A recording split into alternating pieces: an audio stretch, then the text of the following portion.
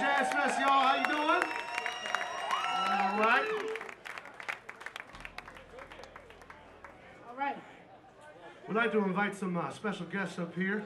First of all, y'all, please put your hands together for the birthday boy, the high priest, Mr. Weedie Braimah.